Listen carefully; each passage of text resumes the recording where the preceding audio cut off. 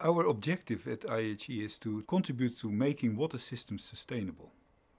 And what we see is that a lot of water systems, and these can be a water supply system, it can be an irrigation system, it can be a system of large dams, are oftentimes uh, not managed in a sustainable manner. So that's the, that's the first thing. Now, the, if they are not functioning properly, this may be a technical problem, but oftentimes it is not only technical, the, the, the problems that uh, make systems unsustainable. Oftentimes there is also a management weakness in the system, or even uh, there are uh, political issues at stake. Um, so therefore, in this research line on water management and governance, we, we try to understand water systems in a holistic manner. We adopt two approaches. The first approach is to have to adopt a more analytical approach to understand how these systems work.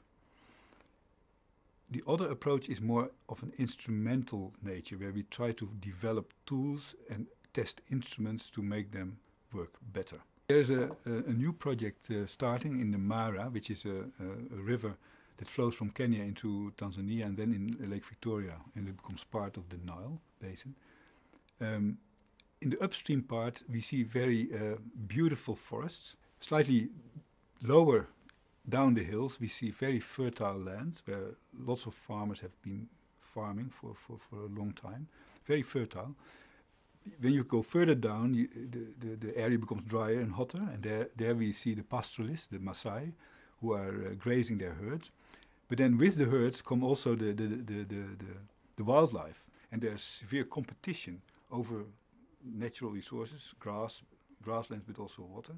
And then further downstream, you have a, a nature reserve, the, the, famous Masai Mara, which is a very uh, hotspot uh, attraction for, for tourists.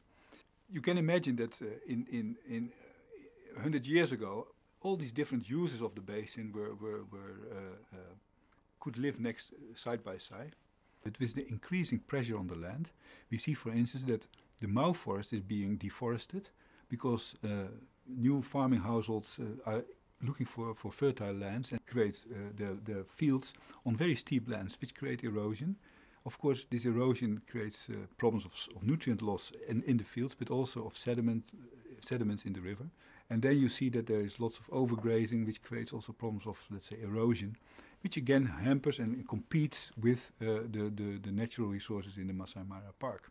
So in this project, we would uh, like to develop a system of co-governance of this uh, beautiful river basin, whereby those who benefit from the resources also take responsibility for the upkeep of the natural resource base.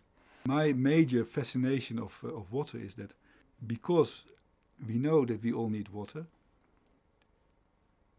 that water becomes uh, a medium of collaboration. And that's what we see in many places.